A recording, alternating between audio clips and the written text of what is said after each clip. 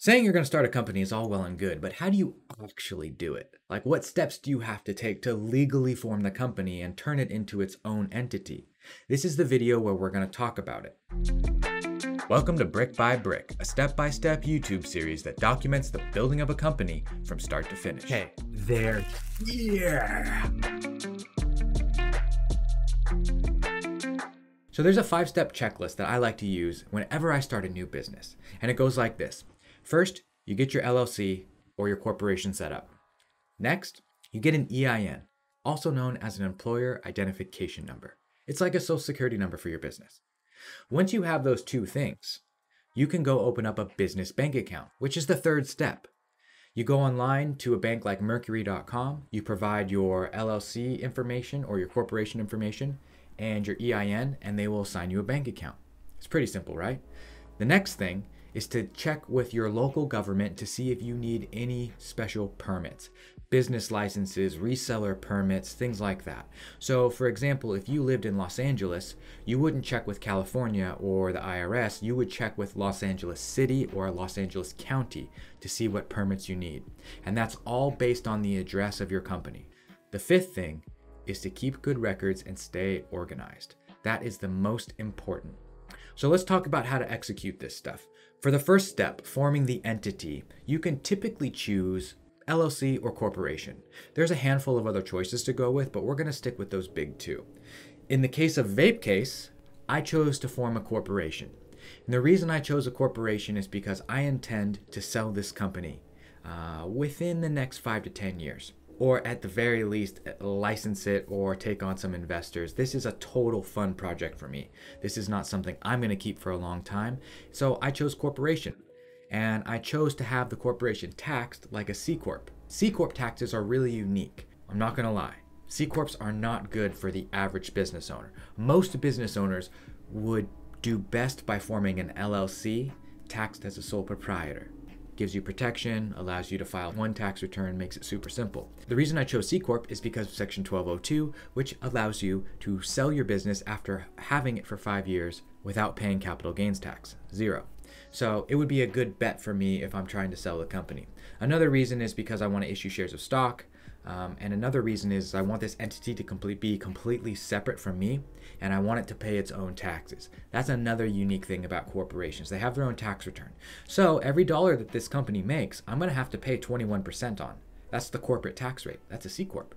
And then whenever I pay myself, I'm going to have to pay personal income taxes on it as well. So I'm going to have double taxation.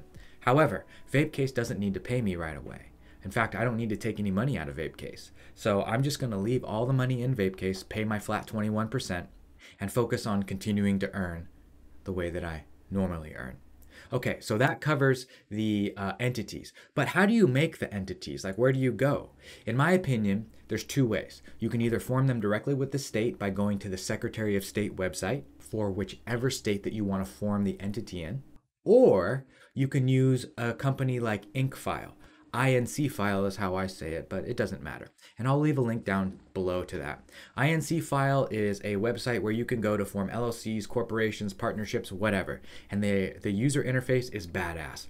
But my favorite thing about INC file is they give you the ability to pay for registered agent services, which I absolutely love because I don't want to make my address public. Registered agent is just there to accept mail on your behalf from the government in case you're across the world and your mailing address doesn't work out. That's why you need a registered agent. My registered agents have never given me any mail, by the way. And the second thing I really like INC file for is a virtual address. This is so cool. So basically, they say, hey, do you want to use our address in Delaware? And I'm like, hell yes, I do.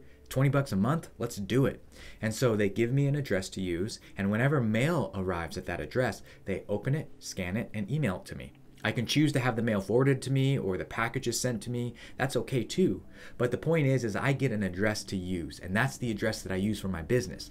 That prevents me from having to go get a warehouse or an office. It also prevents me from having to make my personal address public. And that's a really big deal because I like privacy. So, to form your entity, the short answer is go to INC file, pay them to get it done for you, and everything will be nice, neat, and in a tight little package. It's the best way to do it. They're way cheaper and way better than LegalZoom, by the way. Okay, now we get to the EIN. The EIN, like I mentioned before, is the employer identification number. This is one of the easiest parts. You can just click on the link below and go to the IRS website where you can apply for your EIN. Now remember, the government, the IRS and the state, state is your entity, IRS is the EIN. They don't talk to each other. So you can go get your EIN as soon as you have chosen your name for your LLC. So uh, once your LLC or your corporation has been decided and filed, you can go get your EIN right away. That's going to be the new social security number for your business, and you're going to use that to apply for a business bank account. Okay, that leads me to the third point business bank account. Once you get the uh, articles of incorporation or the articles of organization back from the state, right, forming your entity, and once you have your EIN paperwork, which you'll get instantly from the IRS, you can take those two things and you can go to a bank and open up a bank account. You can go to a local branch if you want to, or you can go online to a bank like Mercury. Mercury.com is my favorite. Um, I'm not endorsed by them. I just think they're a badass bank and they're really easy to use.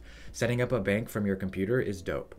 But if you're old school and you want to go into a place, I prefer local credit unions. They're easier to work with and they're definitely more friendly. Worst case scenario, if you have to use a big bank, go with someone like Chase. Fuck Wells Fargo. Those guys suck. Bank of America, those guys suck too.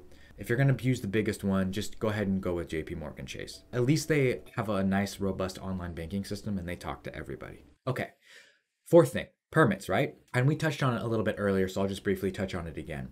Check with your local government. Local governments are who issue permits, cities and counties. If you're in an unincorporated area of the state, you're probably good and you can just check with the county. Otherwise, check with your city and make sure that you don't have to get a business license. Even people that are just running home based laptop style businesses in some cities are required to get a business license.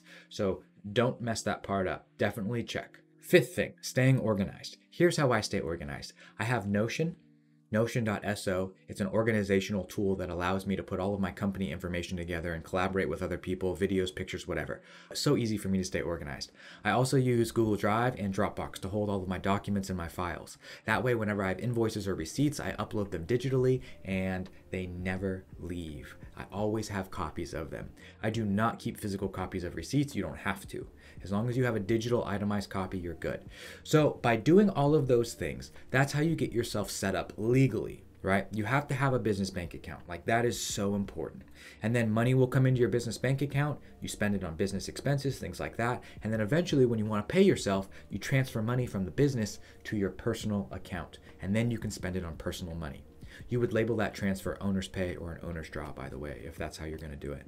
Now, there's one more thing that we're going to go over and I just want to touch on it, is an operating agreement. An operating agreement is an agreement that you put together that states what happens to the people that own the company in the event of X. For example, what happens when you die? What happens when you sell? What happens when there's a disagreement? What happens when you add a partner? What happens when this happens? If you don't write your own operating agreement, you will automatically default to the blanket state operating agreement. And we don't want that. We want to define our future. We don't want the state to define it for us. So grab a napkin, a piece of paper, use the um, operating agreement from my business school or on my website. If you don't have one, let me know and I will send it to you for free or you can get it off my website or sign up for my mailing list. I think I send them to everybody there. Anyways, the point I'm trying to make is take the time to fill out an operating agreement and put it in a drawer. The only time you're ever going to look at your operating agreement again is if somebody dies, if you get sued, if you sell the business, or if something else catastrophic or monumental happens. I hope this video helped. If you need anything else, leave a comment below. Otherwise, you know where to find me.